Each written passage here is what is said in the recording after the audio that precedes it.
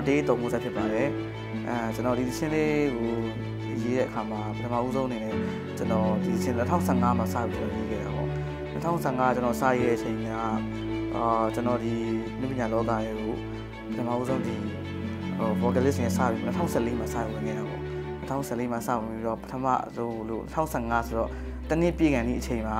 အဲညီမလေးကျွန်တော်စီကိုဆက်သွယ်လာတယ်ပေါ့နော်သူလည်းကျွန်တော်နဲ့ကလည်းမွေးဖွားဇာတိမျိုးချင်းနဲ့တူတယ်ဆိုတဲ့အခါကျတော့ဟိုကျွန်တော်တို့အဲ့လိုမျိုးအဲနီးစရာနီးစရာနေပြီးတော့ကျွန်တော်တို့တချင်းလုပ်ဖို့တချင်းလေးဒီလိုလုပ်ကြမယ်ဆိုပြီးညီမလေးကကျွန်တော်စီဆက်သွယ်လာတယ်ပေါ့ဆက်သွယ်တော့သူနဲ့ကျွန်တော်လည်းအဲစကားပြောတယ်နောက်ပြီးတော့ဒီတချင်းလေးကိုဘယ်လိုတိစောက်ကြမလဲဘယ်လိုကြောင်းလာလေးအခြေခံမလဲဆိုတော့ဒါသူ့ရဲ့ခံစားချက်ပေါ့သူခံစားချက်သူပြောပြတဲ့အရာလေးကိုမှကျွန်တော်အခြေခံပြီးတော့ ကျွန်တော်ဝင်ခံစားပြီးတော့သူတို့ဒီချင်းလေးကိုကျွန်တော်ရေးပြခဲ့တယ်အဲရေးပြီး2015ခုနှစ်ပဲ2015ခုနှစ်ပဲနိုဝင်ဘာလမှာအဲကျွန်တော်တို့ဒီဒီသူ့လက်ထဲကိုကျွန်တော်ဒီချင်းလေးကိုသူပေးခဲ့တယ်အဲနောက်ပြီးတော့ကျွန်တော်တို့ဒီမှာဒီမိုသွင်းတာလေးလုပ်ကြတယ်နောက်ပြီးတော့အချမ်းဆိုတာနောက်ဒီချင်းနဲ့ပတ်သက်ပြီးတော့ဒီ local နဲ့ပတ်သက်ပြီးတော့လေ့ကျင့်တာမျိုးတွေပေါ့အဲအစိုးပိုင်းအတီးပိုင်းမှာကျွန်တော်တို့ view time နဲ့ညှိနှိုင်းတယ်ဒီချင်းလေးကမမရရပဲအမရပဲဆိုတာဟိုအများကြီးဟို ဟိုအတီးပိုင်းရောအစိုးပိုင်းရောမှာစူးစမ်းအားထုတ်မှုတွေအများကြီးနဲ့ခောက်ခောက်ခါခါအဲဆိုဒီချင်းဆိုလို့ရှိရင်ဒါအခုသူတီးထားတာ၃ခေါက်မြောက်ပေါ့၃ခေါက်မြောက်ကိုဒါပြန်တီးထားတယ်နောက်စူထားတာဆိုလို့ရှိရင်လည်းအချိန်တော့တော်တော်များတယ်အာသူဆိုလိုက်ကျွန်တော်မကြိုက်ဘူးဆိုလို့ရှိရင်တော့ပြန်ဆိုပေးလိုက်အဲ့လိုမျိုးပေါ့အဲကျွန်တော်သဘောကျတဲ့အထိကျွန်တော်လက်ခံရအောင်တဲ့အထိအနေထားမျိုးတွေသူအများကြီးကြိုးစားပေးထားတယ်ကျွန်တော်ဘက်ကလည်းဒီချင်းတောက်လျှောက်ထွက်ဒီချင်းလေးလိုဖြစ်လာတဲ့အချိန်ထိကိုလည်းအာတောက်လျှောက်ကြိုးစားပြီးတော့အဲကျွန်တော်ဒီ သူအကြံဉာဏ်လေးပေးခဲ့တယ်ကျွန်တော်တို့ကအတူတူပူးပေါင်းပြီးတော့ကျွန်တော်တို့ကောင်းဆုံးဒီချင်းလေးကိုဖန်တီးခဲ့တာပါအားလုံးကျေးဇူးတင်တယ်သူတို့ကျေးဇူးတင်တာတော့ဒီမှာလေးပေါ့ဒီမှာလေးဝယ်မှုတဲ့ကျေးဇူးအများကြီးတင်တယ်အာကျွန်တော်ဟိုဟိုကျွန်တော်ရဲ့စိတ်တိုင်းကြ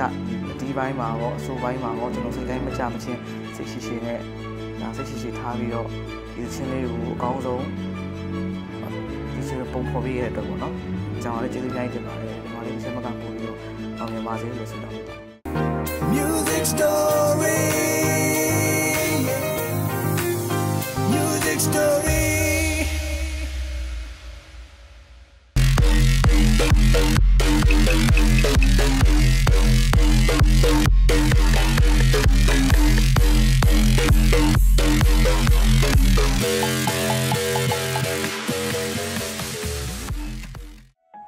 အော်ဖူးကို1994ခုနှစ်ဩဂတ်စ်လ 24ရက်နေ့မှာမွေးဖွားခဲ့တယ်အာစပြီးတော့မွေးတဲ့အချိန်တွေကမွေးရပါအများယုံမတန်ဆွမ်းသူတယောက်အနေနဲ့မွေးဖွားခဲ့ပါတယ်အာအဲ့ရနေပြီးတော့မှဒီငယ်ငယ်တွေကပေါ့နော်ဒီတချင်းဆိုတာကိုအယံဝါနာပါတယ်သူရောက်ခံနေကြရင်ဖုန်းဆက်လိုက်အများတန်းအားလို့ရှိရင်တချင်းဆိုတယ်နောက်ပြီးတော့အယုတ်တွေပါတယ်အရင်ဝယ်ပေးရဆိုလို့ရှိရင်လည်းအဲ့လို musical instrument လေးတွေကိုပဲအရန်သဘောကျပြီးတော့အဲ့ဒါလေးတွေကိုပဲအများတန်းတောင်းတခဲ့တယ်အဲ့ဒါလေးနဲ့အများတန်းဆော့ခဲ့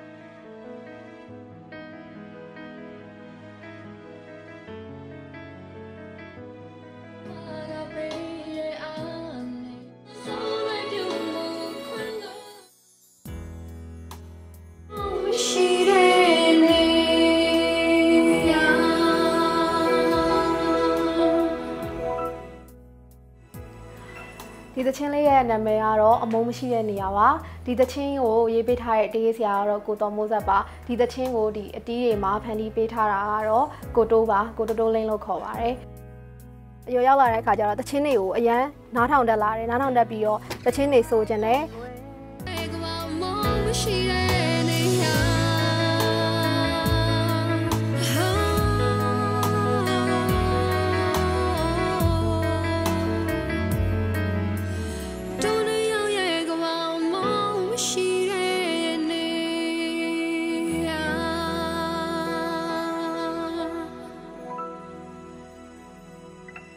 မရှိတဲ့နေရာဆိုတဲ့တခြင်းလေးကို MTV လေးလည်းပဲရိုက်ထားပါတယ်ဒီ MTV ထဲမှာဆိုလို့ရှိရင်ဖူးရဲ့တကယ်အပြင်ကဘဝနဲ့အနီးစပ်ဆုံးပေါ့နော်ဒီထဲမှာလည်းပဲဒီ story လေးထဲမှာလည်းပဲဒီ story လေးကကောင်မလေးကဒီ MTV လေးကကောင်မလေးကလည်းပဲအများယုံမတန်ဆွမ်းလို့တယောက်ပဲဖူးရဲ့ဘဝနဲ့အနီးစပ်ဆုံးဖြစ်အောင်လို့ပုံဖော်ပြီးတော့ရိုက်ကူးထားပါတယ်။အော်ဒါကတော့ဟိုအခြေတချင်းလေးဖြစ်တဲ့အတွက် love story လေးပေါ့နော်အဲ့လိုလေးတော့လုပ်ထားတယ်။အဲ့ထဲမှာမှဒီဒီ ထဲကအကောင်မလေးရဲ့ဘဝအပြင်ကဖူးရဲ့ဘဝနဲ့အနီးစပ်ဆုံးဖြစ်အောင်လို့ရိုက်ထားပါတယ်။အဲဒါကြောင့်အားလုံးကစောင့်မျှော်ပြီးကြပါအောင်နော် Music Story. Music Story.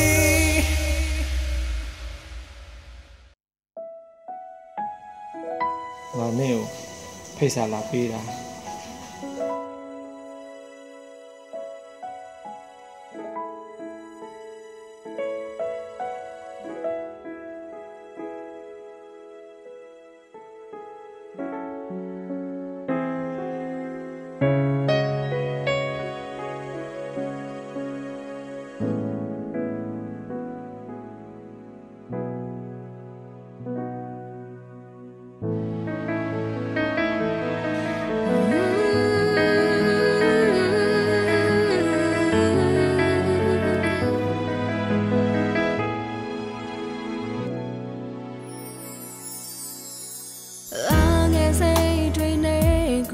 မပြေပြဝတော့ဝါနေရတဲ့ဘဝကပေးတဲ့အားနဲ့ချက်တွေနဲ့ဖြစ်ချင်တဲ့စရာတွေဘာတစ်ခုမှဖြစ်မလာတော့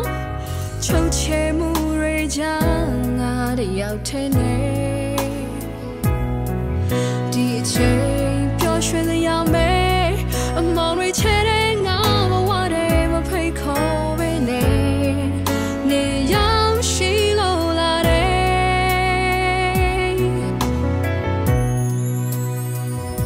ဖြူစင်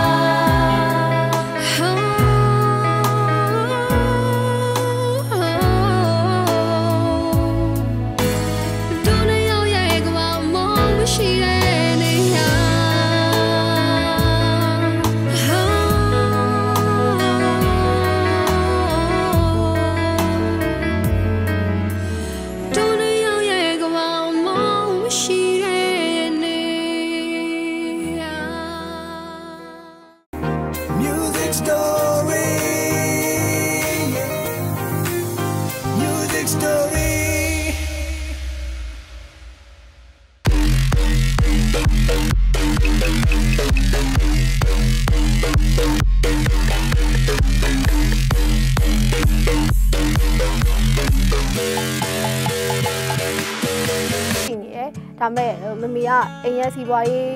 လောက်ရတဲ့လူမဟုတ်တဲ့အတွက်ပြေးတော့ပန်မမပေးနိုင်ခဲ့ဘူးပေါ့နော်အဲ့ဒီချိန်ကနေစပြီးတော့ဒီ2012ကနေပြီးတော့ရန်ကုန်မှာလာပြီးတော့နေဖြစ်တယ်အဲ့ဒီနောက်ပိုင်းမှာဒီတချင်းလေးတွေစုတယ်ကိုရတဲ့မုံပိုးလေးနဲ့တချင်းလေးတွေစုတယ်နောက်ပြီးတော့အဲ့ဒီတချင်းလေးတွေဝယ်တယ်နောက်ပြီးတော့ဒီကိုတိုးတိုးလေးနဲ့တချင်းလေးတွေတီးတယ်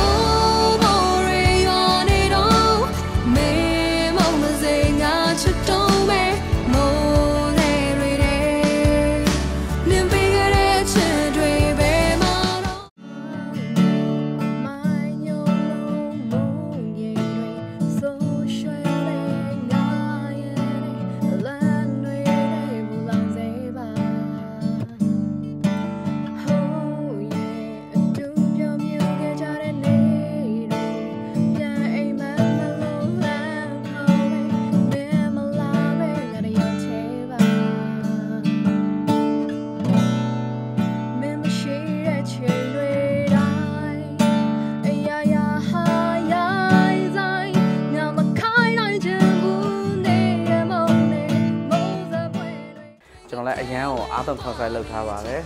အဲအထူးဖြင့်ဒီအမုန်းရှိတဲ့နေရာချင်းလေးဆိုလို့ရှိရင်ကျွန်တော် pop လေးပေါ့နော်ကျွန်တော်တက်နိုင်သမျှ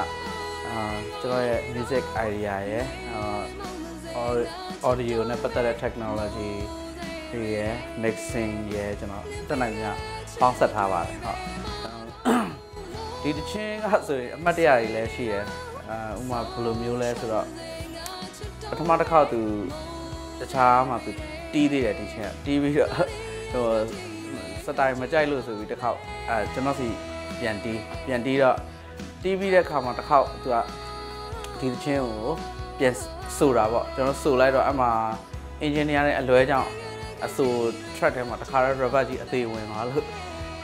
အစဆုံးပြီးတော့မှနောက်တစ်ခါအိမ်ရောက်မှသိလို့အဲနောက်တစ်ခါကျွန်တော်ပြန်ဆိုရတယ်ပေါ့နော်ဒီချင်းကတော့အရန်ဟိုသူလည်းကျူးကျူးဆဆဆိုထားရပါတယ်ကျွန်တော်လည်းကျူးကျူးဆဆ တော့လောက်ထားရပါတ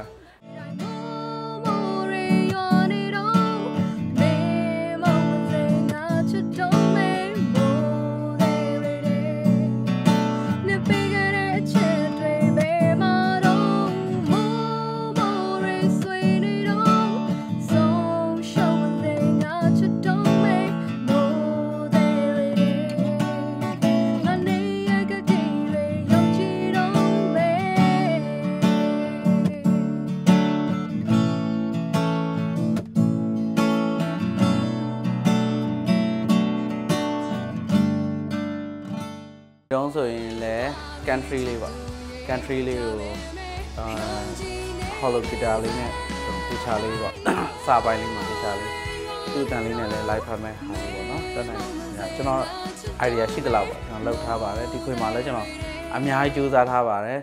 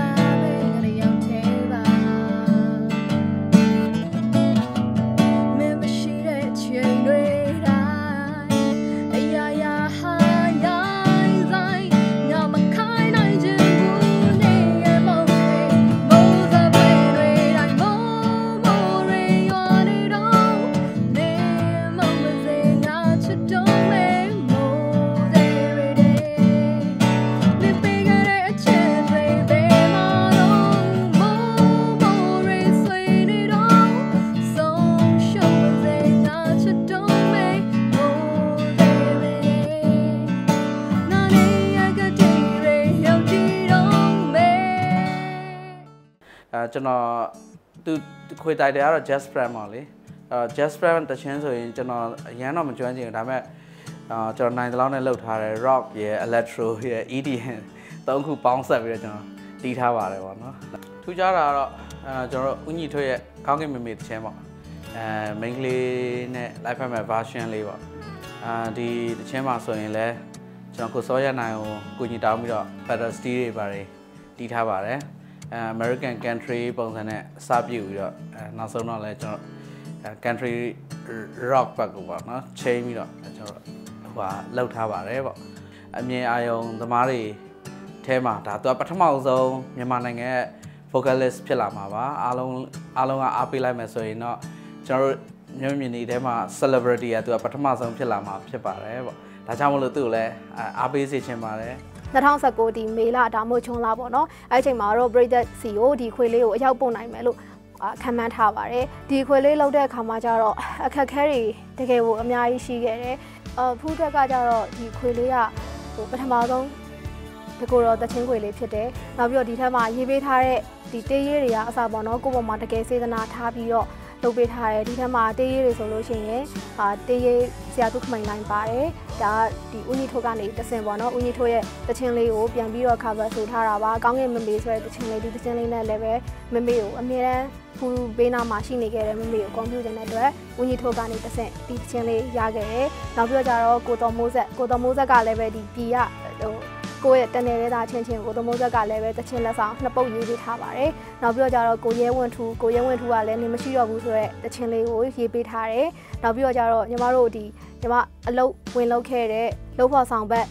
တရေးစရာတယောက်ကကိုချမ်းမြေအောင်သူကလည်းပဲတချင်းသုံးပုတ်ရေးထားတယ်။နောက်ပြီးတော့ကျတော့ဒါဖူးတို့နဲ့ဘဝတူပေါ့နော်အမြင်အောင်မတန်ဆွမ်းသူပါပဲတရေးစရာမအမာကြီးမစိတ်မစိတ်ရလည်းပဲလက်ဆောင်တပုတ်ရေးပေးထားပါတယ်တချင်းအားလုံးပေါင်းစုစုပေါင်း9ပုတ်ပန်ဝင်မှာဖြစ်ပါတယ်ဒီတချင်းလေးကိုသွင်းမြစ်တာကကြတော့2016လောက်မှာ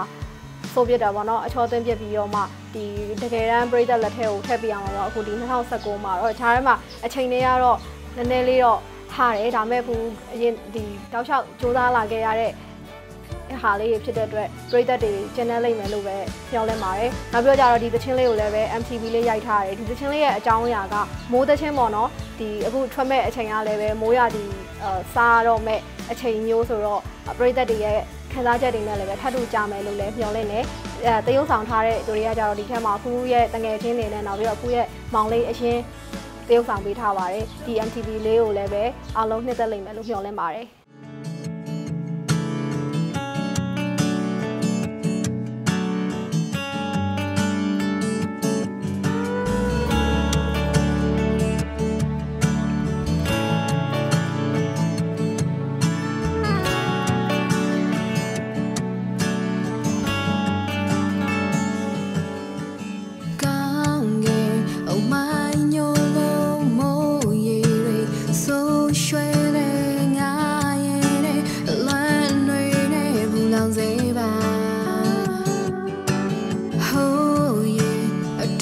တော်မြူခဲ့ကြတဲ့နေ့